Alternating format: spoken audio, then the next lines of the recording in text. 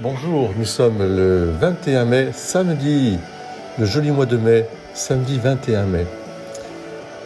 Nous pouvons euh, en ce samedi euh, considérer aussi euh, dans ce commandement nouveau qui nous a été enseigné tout au long de la semaine, ce commandement qui n'est pas nouveau mais qui vient des commencements, c'est-à-dire qui est renouvelé, l'amour de Dieu à travers le service du prochain, comme Jésus nous l'a enseigné par son exemple et par sa, vie et sa mort et sa résurrection.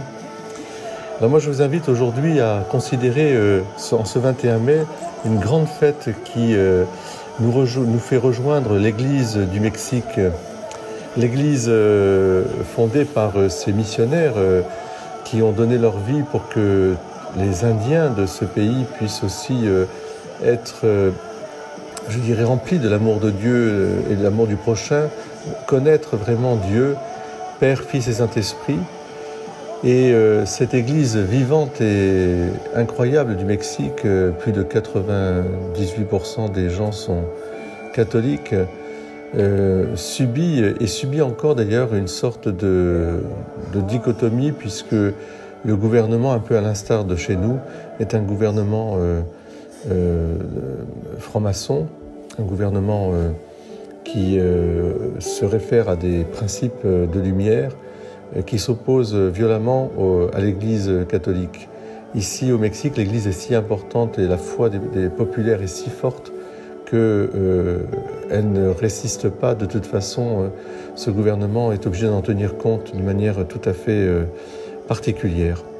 Mais il faut dire que dans les années 1926 à 1922 à 1926, il y a une grande persécution dans l'Église contre l'Église et contre les chrétiens au Mexique. On appelle ça la révolte des Cristeros. Il fut persécuté, euh, donc euh, ce saint Christophe Magallanes ou Cristobal et ses 24 compagnons qui ont été donc canonisés. Ils furent euh, persécutés euh, au cours de la guerre des Cristeros au début de 1926 à 1929. Il lui-même a été euh, assassiné euh, à cause de sa foi en 1927. C'était un, prêtre zélé euh, qui avait été missionnaire, en particulier chez les autochtones Ulcoles, une tribu indienne de cette région, très estimée, très aimée. Christéros, ça veut dire euh, pourquoi on les appelle Christéros? Parce qu'ils sont morts euh, euh, en revendiquant justement le fait de rendre à César ce qui est à César, mais à Dieu ce qui est à Dieu, et d'être fidèle au Christ. On les appelait les Christéros. Aussi parce que ils avaient conscience d'avoir été visités de manière tout à fait particulière par la Vierge Marie dans les apparitions de Notre-Dame de Guadalupe.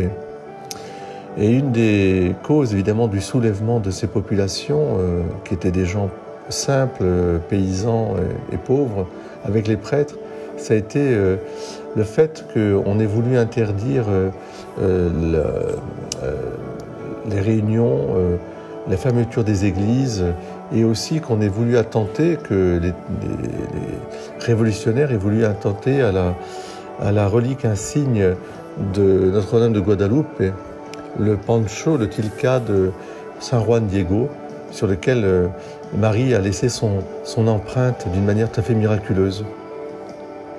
Tout cela a provoqué évidemment une, violence euh, et euh, il a fallu des années et des années pour que tout rentre dans l'ordre. Mais jamais l'Église mexicaine n'a oublié ces, ces, martyrs et c'est aujourd'hui l'occasion de leur rendre gloire, de remercier le Seigneur pour la force de leur foi. Et, nous-mêmes, peut-être en ce samedi, eh bien, de réécouter mieux encore le texte de l'Évangile. Jésus disait à ses disciples, c'est Jean 15, 18, 21, Si le monde a de la haine contre vous, sachez qu'il en a eu d'abord contre moi. Si vous apparteniez au monde, le monde aimerait ce qui est à lui, mais vous n'appartenez pas au monde, puisque je vous ai choisi en vous prenant dans le monde. Voilà pourquoi le monde a de la haine contre vous. Rappelez-vous la parole que je vous ai dite, un serviteur n'est pas plus grand que son maître. Si l'on m'a persécuté, on vous persécutera vous aussi. Si l'on a gardé ma parole, on gardera aussi la vôtre. Les gens vous traiteront ainsi à cause de mon nom, parce qu'ils ne connaissent pas celui qui m'a envoyé. Vive les Christéros et bon samedi à vous sous le manteau de Marie. Amen.